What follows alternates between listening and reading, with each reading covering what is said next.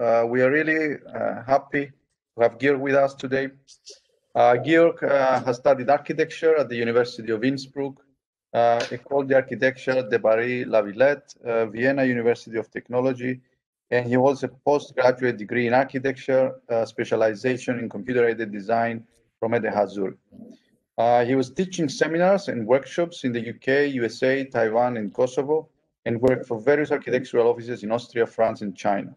Since 2009, he has been teaching and researching computational fabrication strategies at the Department of Experimental Architecture, Hochbau, at the University of Innsbruck. In 2017, he co-founded the spin-off Incremental 3D that is focusing on additive manufacturing with uh, concrete. Uh, we're really happy to have him with us uh, today, and we really hope uh, to see him in person, right, uh, next spring in, in Innsbruck. Okay, uh, hello, uh, Georg, and the floor is yours. You may begin. Okay, thanks for the invitation. Thanks to Pavlos also for the special invitation. Um, I would like to, to talk about REXLab, the robotic experimentation lab of the University of Innsbruck. I would like to go over and show what more in a chronicle way what had been produced from 2012 on. But first, oh, first I would like to to talk about the university and the special special the, the faculty that we are in. It's the faculty of architecture. We have uh, five departments and uh, and, and 12 uh, working units yeah, that's that's our building. Um, like I said first, there is a staff of 120 uh, persons working in this building. On the left and on the right, you see the, the, the working spaces of the students. The building is from the 1960s, so there is architecture in Innsbruck since more than than than, than I think from 69. So it's almost 50 years of architecture in there. Um, these are these are the main buildings, but the lab is in, an, in another building, some of the site.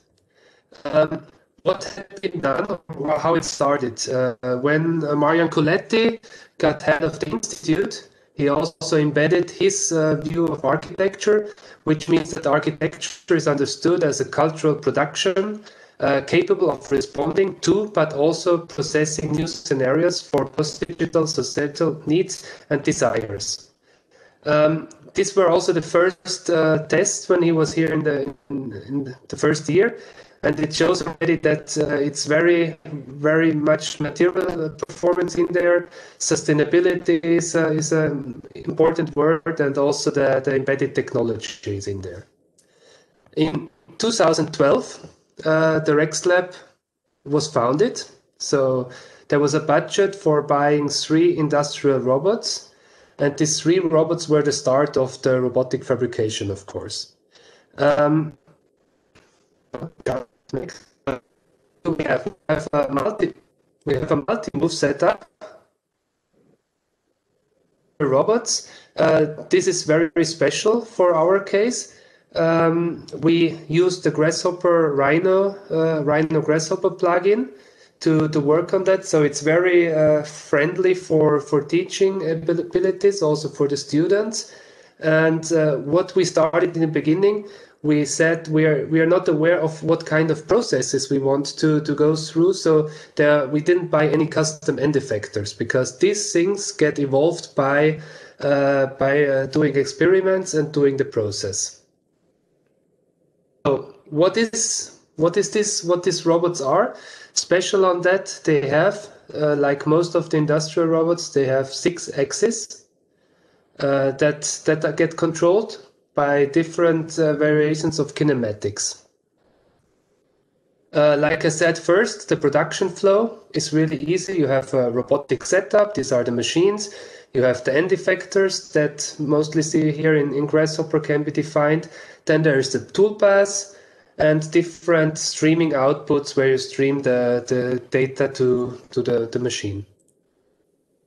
Um, what is also something very interesting from that time on, we started also to publish our works in different uh, in different uh, societies. And uh, for example, here it, we had been published several times on, on the RobArch um, um, uh, editions, but also in smart geometry and, and so on. This is also the network we are we are looking and uh, and we have an exchange. Um, so for the first project, I would like to. It was more like the kick, the kickoff project. Uh, in 2013, we started with the idea of robotic foaming. Marjan Colletti called it uh, this way, uh, named it this way, and uh, basically we started with ex experiments on a very diff different and, and special material. So the it was a special mixture of polyurethane foam, hardener, water, cement, plaster, pigments, and fibers. So most of these things were developed in workshops and experiments, mostly by students. And from that on, we started to embed this in a robotic process. Um, what was also very different or difficult on this uh, on this uh, process was the timing. I will show some things afterwards. Are some images in the beginning. Aesthetically, a very nice process, but very difficult to control. So the precision of the machines compared to the imprecision of the material and all its environmental conditions was the challenge on that. Um, we got we went over several uh, different workshops. This was the workshop at the University of Applied Arts. We brought the machines from Innsbruck to Vienna, about 500 kilometers. Had a one-way, a one-week workshop, like you're also doing it in Nicosia at the moment. So we had a one week, and the special thing was, was we had this nice atrium in the university in the old building, with a rack on top, this red rack, and we had a design process. We had to figure out a design process and a doable project during a week of time. Um, we used the Karamba plugin. In this plugin, uh, it was able to optimize the structure. And as you can see here, this was one of the, the algorithms at the end that was the, was the outcome of an optimized structure, which needed also different, all different uh, knots and combinations and this was at the end all the different uh, knots that were developed with this technique. Um, of course, a, a, lot of other things had been tested. The performance of these uh, parts, they were really strong in stretching, but really low in compression. So the whole structure was optimized to a less uh, momentum structure. Here's some final images of the process. So this was in 2013. We have also a short movie here that shows a bit lower. It showed also the, the first uh, test that we made, a new group of students, one week. We had the tooling, so that very simple tools that had been developed. The machine was, was standing in the in the third floor of the building of the school so in the beginning, it was teaching and, and also explanation of uh, the machine. In parallel, we needed to do the design. So first test, failures.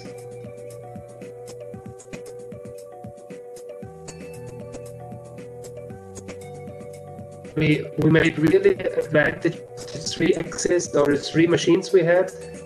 You will see the three arms move in the direction of the joints. Yeah material was also difficult to control in summer. It was more, more. It was totally different behavior than in winter in Innsbruck. So it was also something that that uh, was a challenge. Yeah, also the engineers from Bollinger supported us. Bollinger Grohmann, probably would know, famous Austrian uh, um, structural engineering company. Here the process.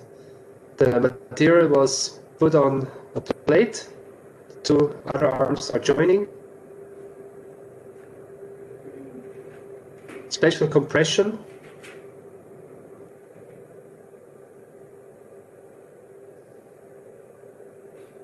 Still some physical work on that.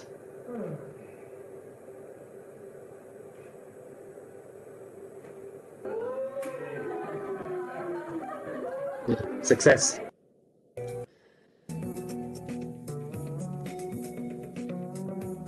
Here the structural optimization, optimization again.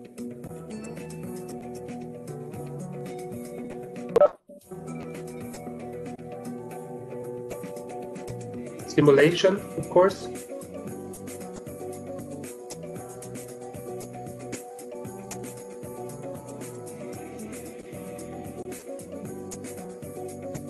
Go a bit further.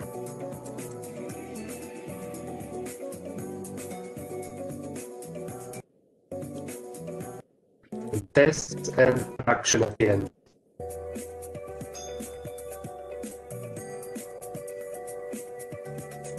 Okay, over the last few minutes, I go over. Good. That point on, we tried to figure out how this material behaves. So it's not a trial and error again. We tried to have in another workshop in, in Tallinn we, with uh, mechatronic students. We figured out how much tension is in this uh, structure being. So we tried to figure out when this structure will fail. So we had it first by tension and weight, or on the other hand, there was a strategy how responsive it would be to light. So the more you tension it, the more it would uh, light would uh, go through. From this on, we were able to figure out the chart. When is the the perfect timing for the stretching process? And this helped also a lot for for next um, things. Another project I would like to show also from very the beginning was this phase change workshops, also material that changes from from soft to hard, or in that case, that could be heated up and uh, and uh, so it got fluid and viscous or, or hardened. We found by research a material that uh, is called polycaprolactone, which is a thermoplastic, but not the one you use in the 3D printers. More, um, more it's used in the industry, and also what is is really interesting. It's it's it's a friendly plastic, like call it like this, and it has a low melting temperature. It comes and uh, and uh, the material process we distributed the grains, we applied heat on it, and we let it cool. So from the grains, it got uh, it got a, a, different appearance at the end, and it was was very very stiff. Same here. We tried to figure out uh, which is the, what was the idle performance of the material and when the was started. In a workshop then in 2014 at the RobArch in the United States, we were also coming up with this, this technique. So we had three different robots there. It was a collaboration with the Virginia Tech and uh, with the Harvard GSD. We used the small scale robots in there and as you see, we had a heat gun that heated up the process, and this was the dispenser we brought from Innsbruck. So it was a 3D printed dispenser. Grains were falling up, falling down, down from top, and were, were distributed on a plate. So it had also a small sensor in there to tell the robot from when on the, the distribution would start. So it was a very low technique, but as soon as the sensor got the feeling that it's over the, the plate, it started with dispensing. At the end, of course, as architects, we are interested in the aesthetics and in the beauty. And you see from different material behavior, porosity, stability, the roughness, we had the two-sided material. Density was also something we could play on. And of course, the translucency was also something very interesting. Just to show the space we had there at the university.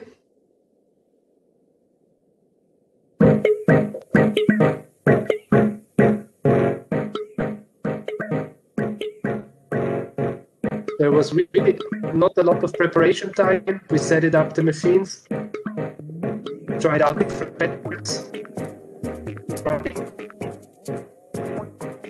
Because it was during the, the RobArch, it was the side workshop, so there's for Sweden.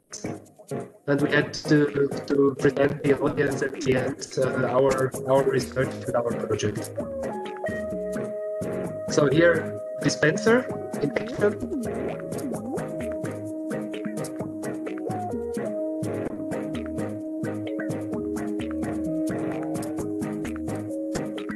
to, to remove it easily. Then the heating process, as I said before, 60 degrees, material starts to melt. for a few minutes it can change that behavior. And by cooling down after a few minutes, it gets into that shape.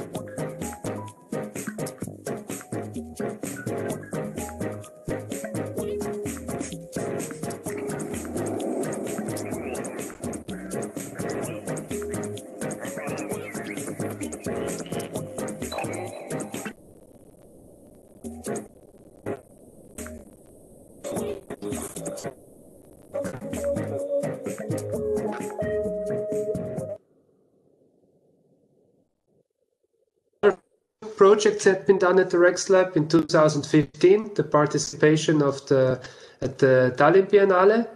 Here I won't show the detailed process, but it was all done with machines excavating.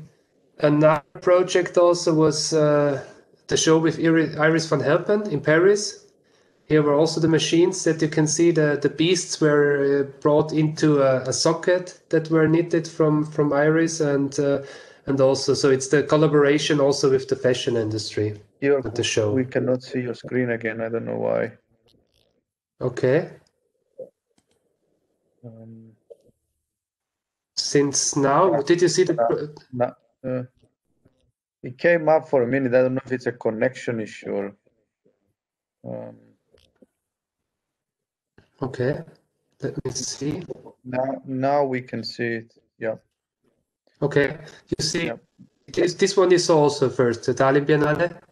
Yeah. Okay. Yes, we can see it now. The, this was the show with Iris van Herpen, like I mentioned. And I will jump over to the next phase. From then on, as every year we develop new projects, we were really interested in the additive manufacturing. Also, in a the, the first questions were: Is it more a selective hardening, as you know from powder printing, or should it be an ex- extrusion process? Um, we had a first uh, tests and evaluations. So there were really beginning. Um, this was really the beginning of the concrete printing, and here we had these extrusion processes, and that were the results of, uh, of the powder printing. It was a collaboration with a material or industry partner, and the students again developed different processes on that. So the robots were in that case uh, just uh, the, the prolonged arm on things. But uh, the start was was done by a, a, student group in 2014. They used for their final thesis or their final model the, the robots to, to print their final uh, design studio model. So they used silicones and other various materials they found in the in workshop places, and they really managed with cartouche and so on printing with really low by, by the robotics. A model of one by one meter by 50 centimeters, also very tall, which wouldn't have fit in an ordinary 3D printer. It was all done in, in, in one piece. So from that point on, we tried to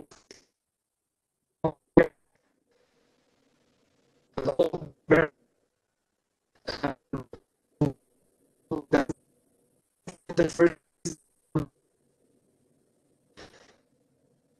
process. This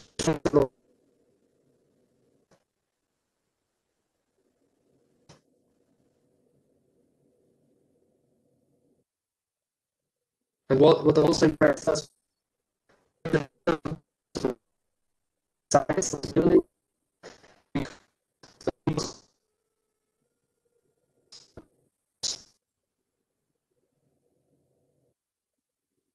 Go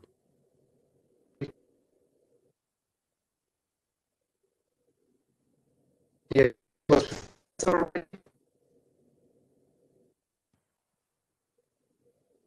also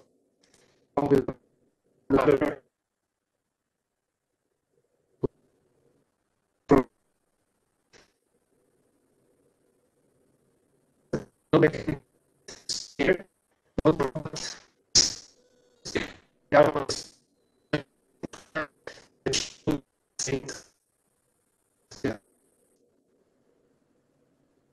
So this allows us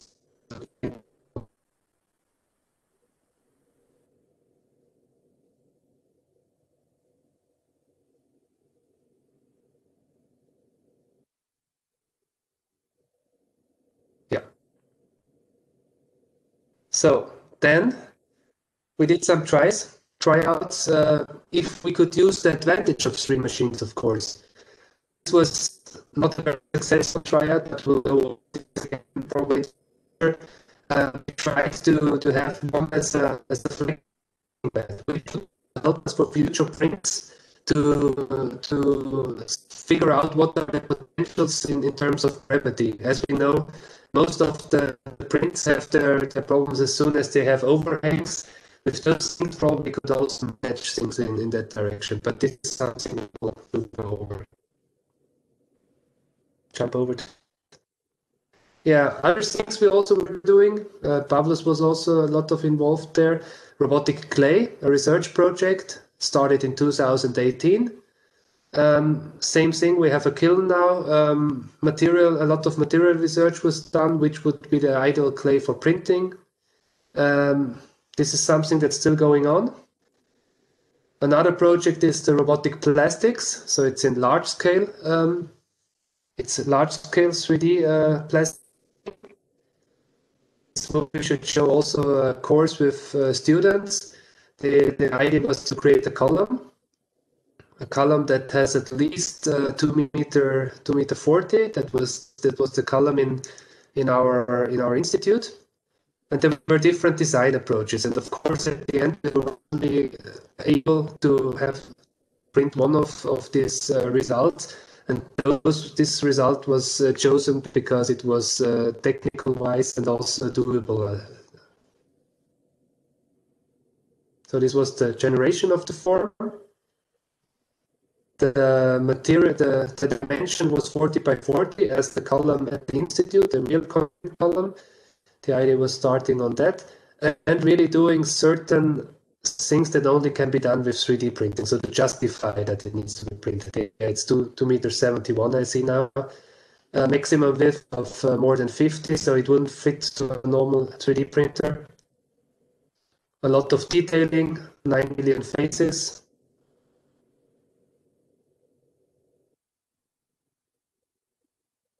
all the sections, more than 2,700 layers.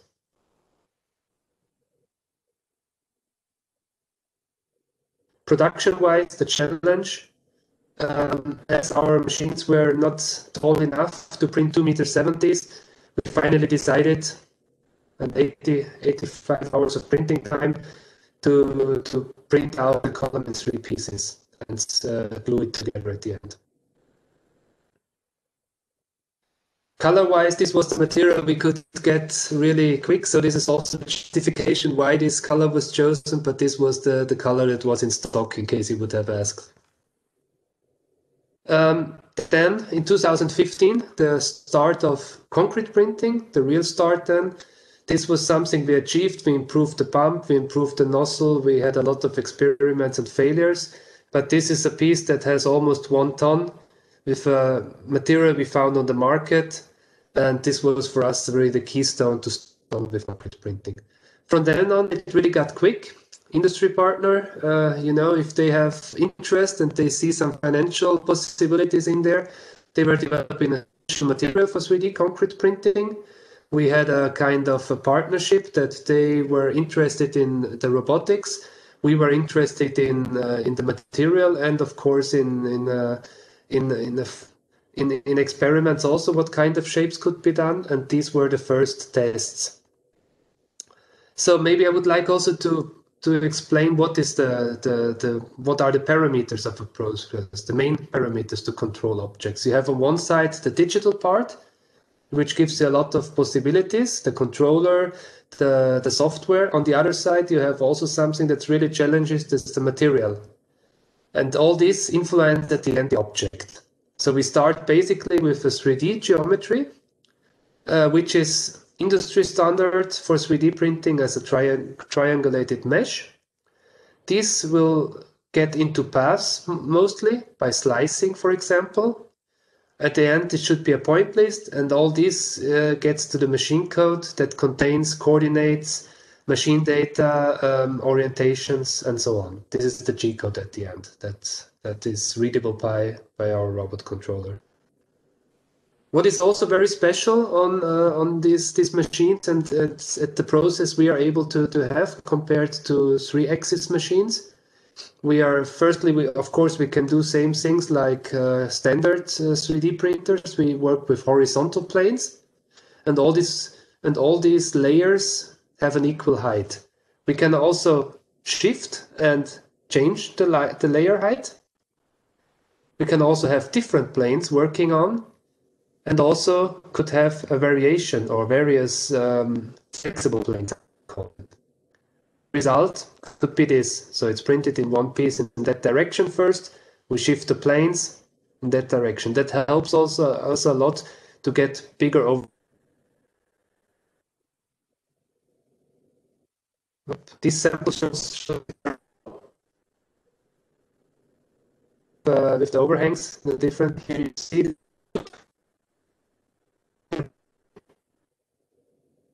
a very steep angle has up so this move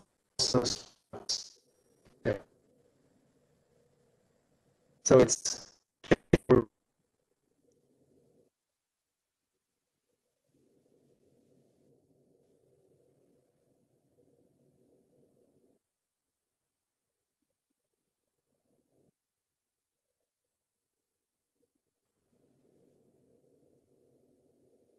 Okay, I keep.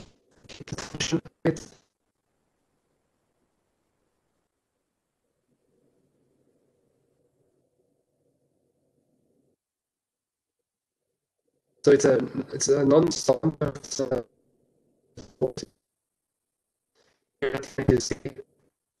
it's really uh, another thing that important I see is that these are modifications through the patterns. On the first layer, you have a straight line or you have a continuous line, I would call it. And creating these uh, surface patterns, it's all based on geometry. That means that on a certain point, there is an offset of a point and uh, that, that gives us this, this nice, nice. So probably what are the process parameters that we have? We have the possibility to print between 12 and 35 millimeters in width we have the possibility also to have layer heights from 4 to 12 millimeters, so which is quite uh, a good uh, dimension. You see it on the right. These are two shapes. So this is from the highest resolution or from the lowest resolution in that way to the highest. So different, different. Uh, that also influences the extrusion width. Material flow at the moment we keep constant and the rest is controlled by the speed and the geometry that is controlled by the robot. Uh, here you see tests we were doing by speed data, 160 millimeters per second compared to 330. So you see also that those there's a, like an acceleration in there, and the zone data is defined also by the robot, which means from one point to the other, the precision, how much is the zoning in there. So you can put it from zero and the, this point will be really touched, or you can lower this to imp, Im, improve the, the, the robotic movement. Yeah, at the end, these are the results depending on how you, you notice these parameters from nice layers to really rough parts in here where too, too much material is deposed. We work with uh, Portland cement mixture. We have gray and white. White is also very, very special for it. It's water and frost uh, resistant, and the strengths and different strengths classes for building industry. It's a two component system, and you will see here it's one speed time not everything is working. And uh, this is also sometimes a challenge to see that, that objects like this need to be hard and really quick to get a certain stiffness. So it's a very viscous uh, material in, in the two components.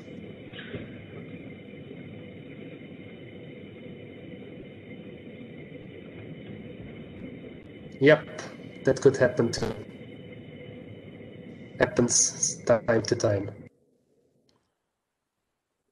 So um, also an interesting benchmark. We know that there are a lot of 3D concrete printing um, firms around. We had a, a, a test with Edit Architects at that time, and uh, there was also XtreeE from from France that was also doing the same shape. And from the resolution, we really were really sure that the system we are working on at the material we're having it's it's quite powerful. Um, other things also guest professorships. Robert Stuart Smith had been visiting professor for a short time in Innsbruck. These were also first tests that were quite interesting. Um, there was a base by Styrofoam. He used a Kinect scan, uh, a protection projection over it, the geometry, and then the toolpaths. So this was an overlaying system. Oops, something mixed. I'm sorry, I need to jump over. Slide got lost. I'm sorry. So I go over to the next project. Uh, we also tried to embed things uh, in, in studios. This is Studio Hochbau from 2016, where we had the, the idea to take the 3D um, printing process as a topic. We said this is the next generation lab, which means we get a lab for our machines. And this lab could be partly con constructed by the machines that get uh, this workshop at the end. So this is also a very interesting project or suggestion from a student that uh, to print the facade with uh, this technique. Additive manufacturing, columns, facade panels, and that also helps to to not only being interesting about the, the, the process, but also finding an application in the building industry. Other things also very ornamental, but also the whole logics need to be thought. How are the connection details? How is it mounted? These things were really uh, embedded in our in our teaching. Uh,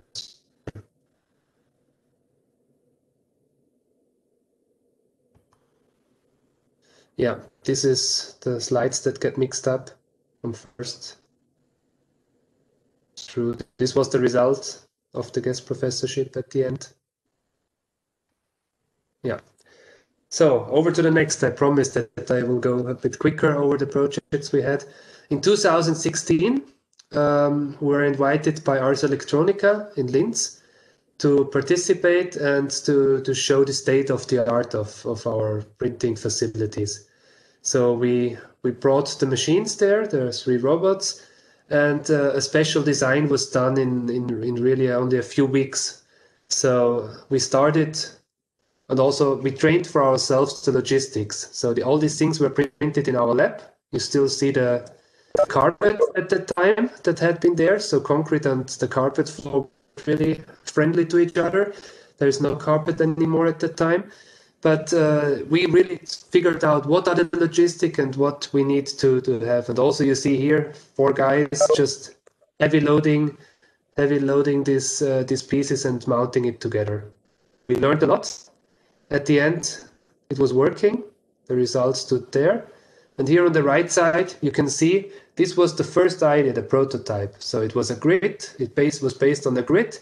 And up there, it was a line that was following certain rules. That's the in, in, inner side. And as you see, probably it's all curved. So that it was not printed on a flat base, it was printed on a raft.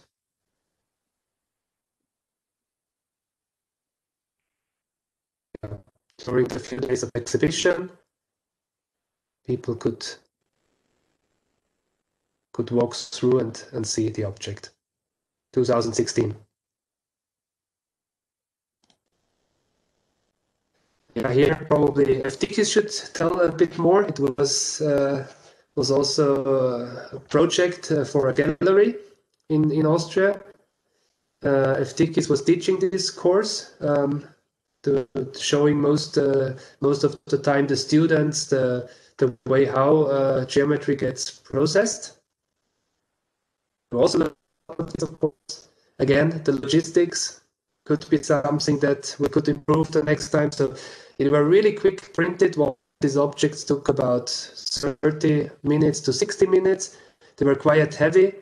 They were hard to to maneuver. They're really standing on just these small uh, edges here, and they get transported with a truck into the gallery by a ramp. yeah, this was the gallery space the day before we mounted it.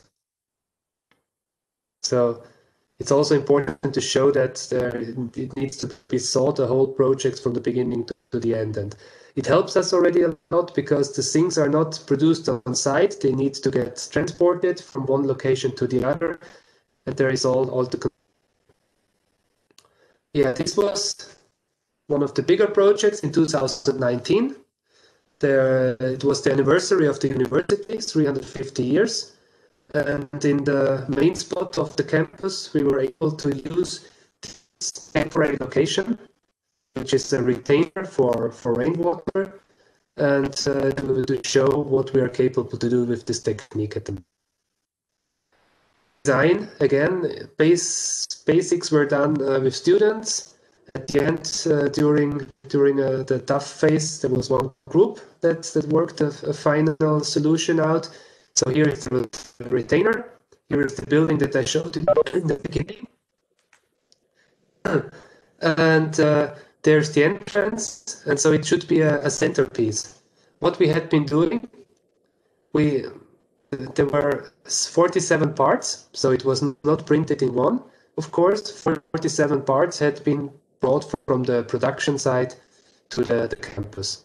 This was a very easy, simple uh, parametric structure in the beginning to see how the shape could be. But all these things had been tested also for, for risks, for example, overhanging, collapsing, and so on. At the end, we managed to do it. This was the day when we mounted it. And you see Innsbruck is full of climbers. You see the, the, the students or, or the pupils in that area were just using it as a climbing wall also. So it, it really fitted well. And you see, this was our aim to have a kind of uh, location where people can get around, can sit, can, can talk. This was the the, the numbers we embossed at the end, the 350, really big letters. These are some details you see when we mounted it. Concrete foundation. This was the only piece that had uh, reinforcement in there or that had a concrete uh, filling in there because it was the table and it was a quite big overhang.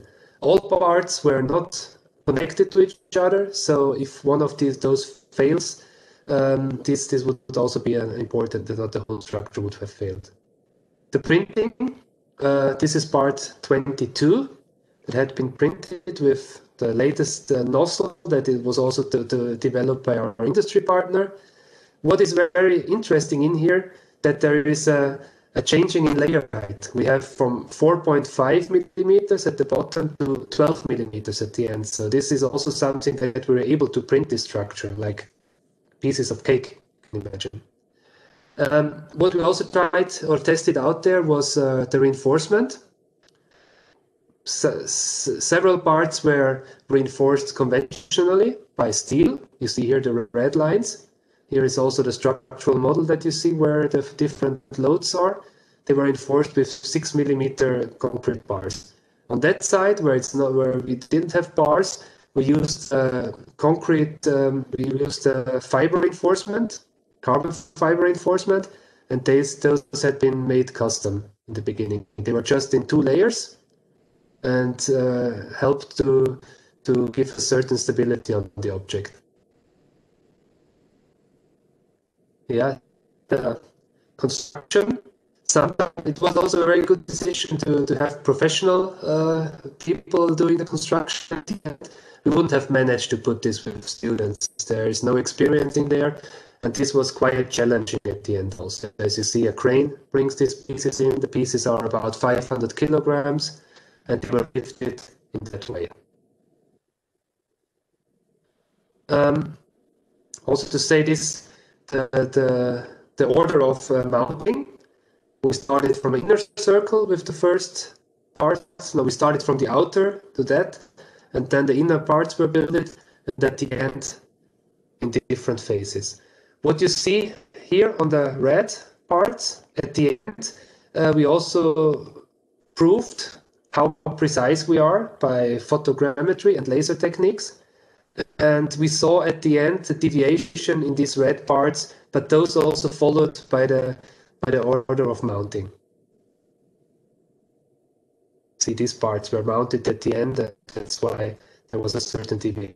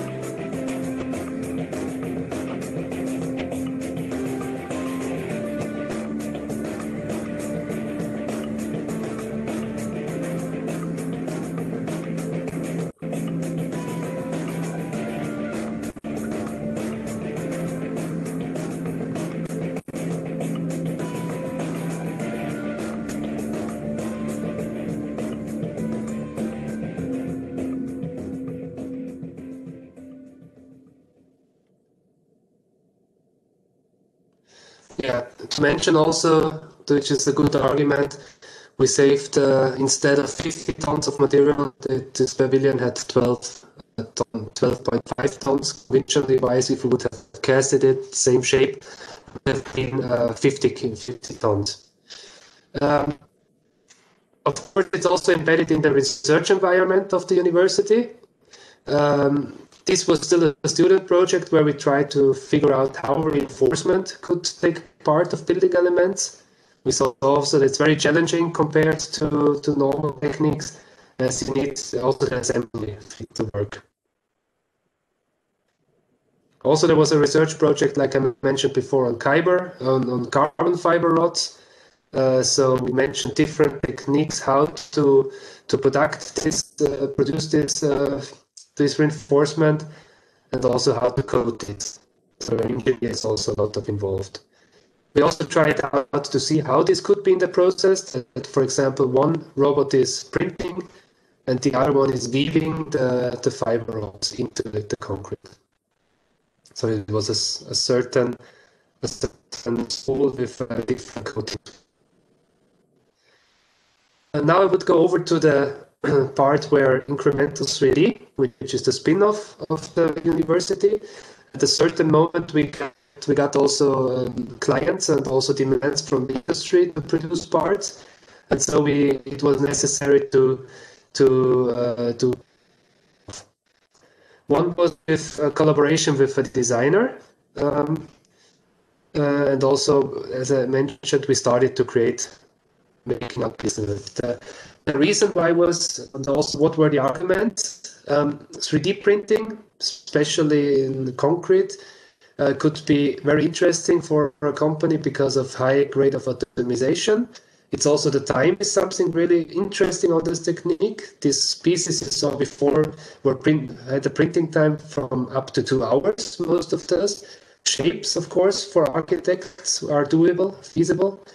Um, also, surface and new uh, patterns are created with this technique. And uh, of course, a, a, simple variety of combi combining colors, shapes, surfaces uh, without additional uh, labor, which, which could be done easily.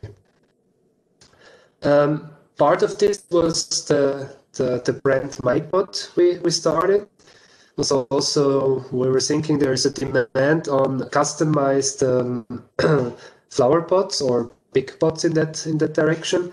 And this was just an excerpt of the catalog because the clients were asking, um, they were really looking for a catalog. They used to have this, because if you give them an answer that you can do everything, that's not enough. So you need to suggest them things. And uh, those were just, of course, you could print them instead of 80, also in 81, 82, and so on. But we just gave them an idea to, to select things.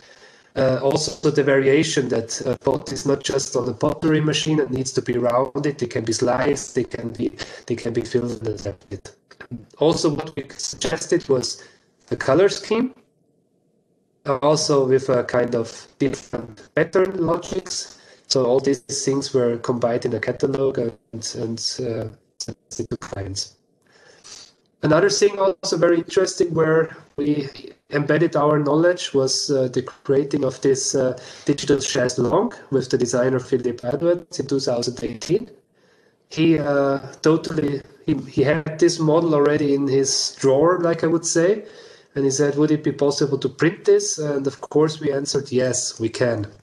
So um, uh, the, it was quite challenging as it's a quite big chair. There are also different loads on it. You can imagine it needs to hold three to four people at one moment if they stand up there not to break. At the same time, for concrete, it's very thin. That also was a challenge. And you could also imagine the toolpath generation was also something that that was needed to to be to be evolved.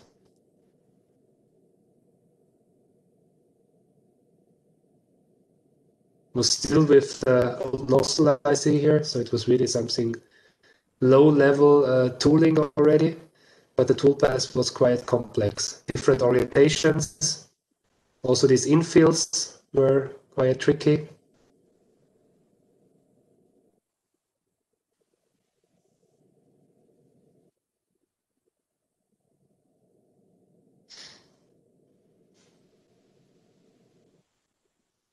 It also had been printed in several clusters. Legs, and you see it was printed upside down, of course.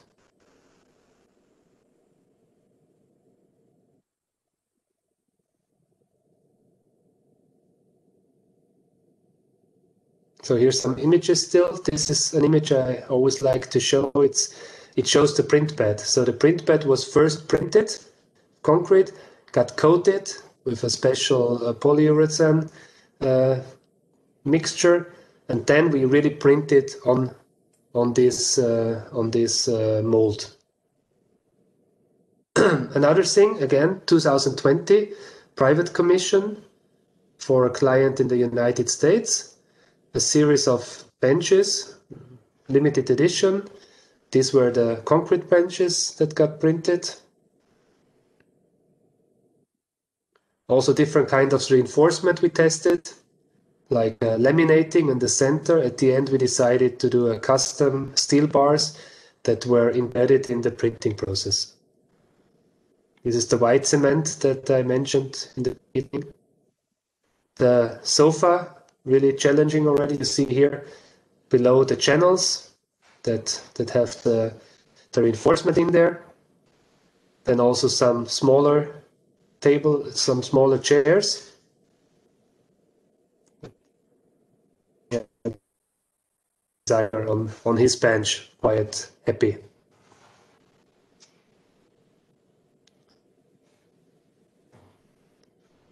Final prints were shown on our location, the new location, which is also good to, to mention it's the third time we have a different location already. We started at the university. Facilities were not doing for concrete printing. Then we had an intermediate uh, stage in a, in a small warehouse. But now we are doing a cooperation with uh, a concrete manufacturer, so that helps us also a lot for recycling and, uh, and being more, more sustainable. Something also we do now company-wise is a research project on, on coloring. In the beginning, we used uh, powder uh, colors. Now we went over to to color to to liquid uh, paste, which gets injected in the in the nozzle straight. This is also funded with uh, the Austrian uh, Chamber of Commerce. These are some tryouts from the last weeks you still see here. Here is more about seeing how is the delay when you start start uh, injecting. So this is also controlled now by the machine code, different color types, colors we are using. Uh, all this needs to be tested. There is no chart. There is nobody who, who can tell, give you samples on something. And something that is really also nice now, we start um, doing some gradients. That means we can put the intensity of color towards uh, towards another color, so we can have a blend over. That's why it's also called selective colors. The next thing is just to see how how far we can get and control the, the injection of colors. Yes, also for those who had been to Innsbruck before, that's also at the university campus. It's it's a kind of a wall that or a, a courtyard they needed to do as an emergency exit for the, the building, the existing building of the students. And uh, we got the commission to, to print these walls. They were already, already designed by another architect, but uh, we still uh, we, we we did the manufacturing of it and the remodeling. Yeah, so far I promised I go over really quick. This is a a, a more more uh, showing from the first steps to the, the where the spin-off is at the moment, which is also part of the university still. The university has shares on these spin-offs, of course. And uh, yeah, I hope you you enjoyed it. And if there are any questions, I would look forward. Thank you very much, uh, Thank you, Gear. Nice to see you. Thank you.